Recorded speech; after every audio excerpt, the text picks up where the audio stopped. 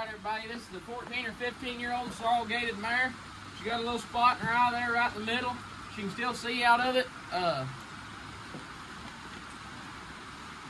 it's just, it's, it looks like it's just on the outside of her eye. Uh, she stands right at 16 one and tall. She's a 14, 15 year old.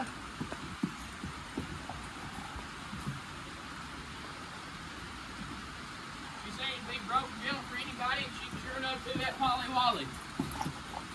Ooh. She's gentle as a bug in a rug now. Uh, she needs somebody take her home, fatten her up, get this slick or this old fuzzy hair off of her, get her shed off, be a nice trail rider.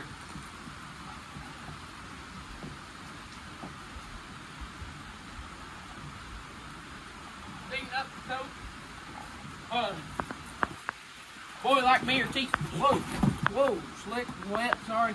Uh, she got good brakes, anyways. She's big enough to coach somebody like me and TJ and the bigger boys, you know. Uh, but she, uh, she's gentle for anybody. She's easy to catch, easy to saddle, easy to bridle. It's how I don't hurt her. What she don't see on, she'll see on her way back. She ain't spooky on that side or nothing like that. Look, she can still see out of it. Uh, she's just a rough, tough sorrel mare. You can't hurt her. You want something you can go ride all day and trail ride and have a good time. Here she is. She ain't no Cadillac, but she sure is a trusty Honda. Uh,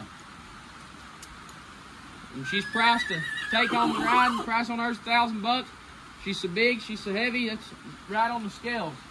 Uh, thousand bucks on her. Y'all get here, you try her, you ride her, you like her. Hey, you'll love her if you get on her back. She's broke, she's gentle, she's she's pretty for what she is. Y'all have a blessed day.